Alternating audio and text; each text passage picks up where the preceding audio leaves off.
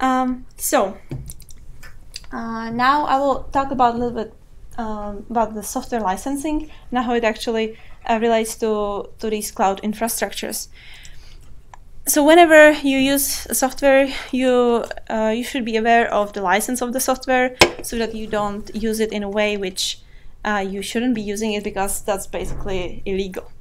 Um, in case of proprietary software, um, so there's um, specifically we can talk about, for example, Agisoft Photoscan. You have different types of licenses. You have educational licenses, you have commercial licenses. So uh, here I guess we've been using either, yeah, we've been using, were we using any of the educational licenses actually? Of the Agisoft? Yeah. Yeah. All the licenses we have are educational. Okay, yeah. We have 20. Okay, yeah. So we have 20 educational licenses and, uh, and uh, the important part of it is actually with the education license, you can't use it commercially. That means you can't obtain any money for uh, when you run produce results. You can't sell sell it uh, sell the results. I have one uh, good example. We are running here the workshop.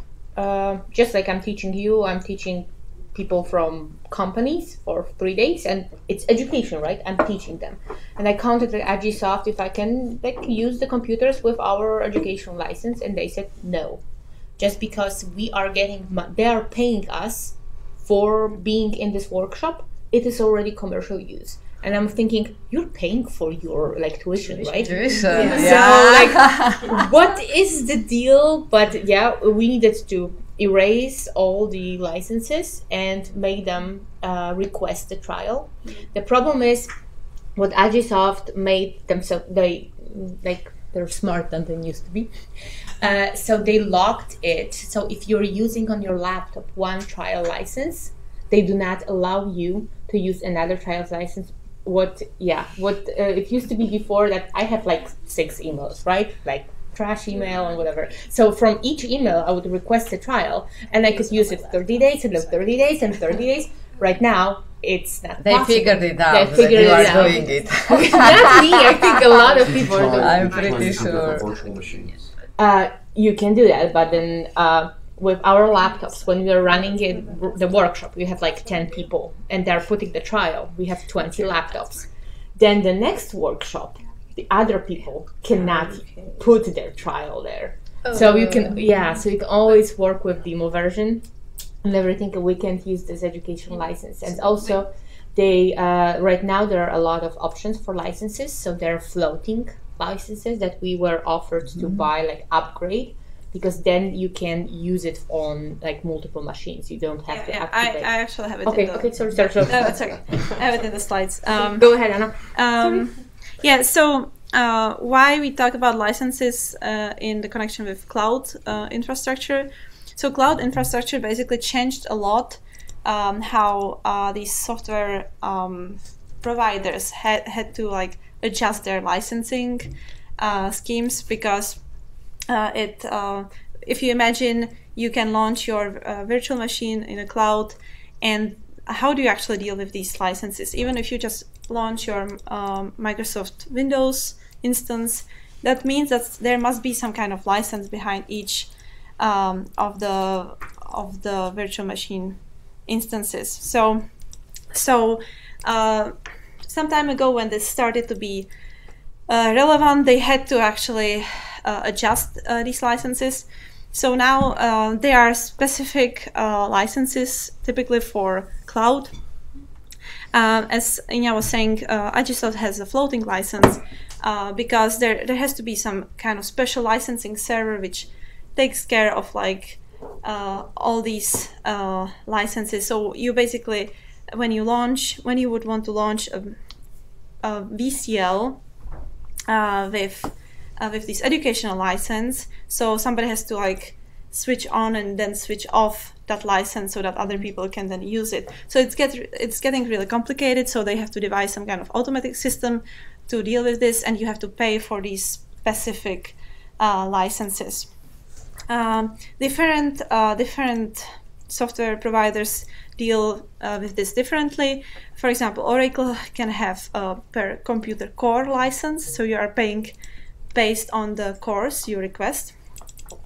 Um, then, um, uh, then you uh, don't have to deal with, for example, with Windows licenses. So when you for example, when you request a Windows instance on Amazon Web Services versus if you request a Linux instance, uh, the Windows instance uh, is, I believe, uh, more expensive because you are kind of paying uh, the license whenever you launch that Windows instance.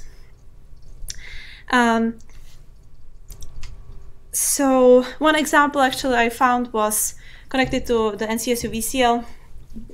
Uh, this was some announcement from 2013 where they actually had to remove uh, Adobe and Microsoft Office licenses from, from VCL because they would have to legally purchase some kind of second license uh, uh, to uh, to be able to provide it legally, and that was cost pro- prohibitive.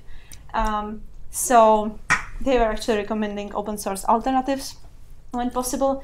Uh, so this was 2013. I think uh, there was some uh, changes maybe in the licensing models. Um, and so I believe uh, Microsoft Office uh, products are available on VCL, but I actually haven't found Adobe products. They, No, There, but you I'm- get a student license. there is a, like a different. But on v- VCL, No, you. yeah, well, yeah. No, not so. On the yeah, app- I, I'm I'm more talking now about like these yeah. cloud systems. Yeah. And same for Office, we just have like university wide. Uh, But it used to be that Adobe License. was not available like for anyone that wanted it, but right now it is. Just saying, Photoshop's for us. Yeah, so so that's just like a very concrete example how uh, these uh, yeah how complicated it is. Um, so um, that's that's actually why um, open source software has has been a lot uh, more used now in this context of uh, of cloud. Um, uh, because it's just free to run, so you don't have to deal. Uh, so there, open source software means it has a license. It has an open source license, which is like a. There are a couple of standard open source licenses, um, so you don't have to actually really read the the EULA or how do you call it or E- EULA Uh, E EULA. Yes, uh, the end, end user license agreement. So uh, because you know it's a standard license, which Is what does it stand for? Okay. yeah, yeah, end user license agreement. Um, so you don't actually have to, to read it because it's a clear license, um, and with uh, with these other end user license agreements from proprietary software, you know that's like the most common lie. You always say, "Yes, I agree. I, I read read. it." never, read. never read and it, and, yeah. and you never read it. Um, and I mean, there were some jokes when some company actually put some things in there about like signing your soul or something like this. So, and somebody actually read it and then they had problem. Um, Someone actually read it. Um, so so uh, basically with these uh, with in this cloud environment uh, it has been much easier and uh, cost effective for people to to work on um, on linux based systems and actually just work with open source software. Um, it also is related to the fact that a lot of web is basically most web is uh, now ran on uh, open source programs um, and um, and all the clouds like Amazon Web Services, uh, they actually run on open source technologies.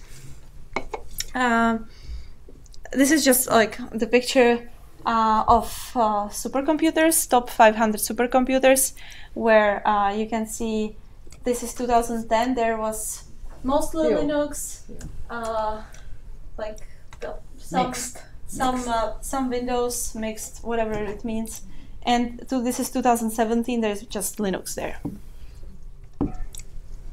There are different types or flavors of Linux, of course, but um, but it's all running uh, just open source software.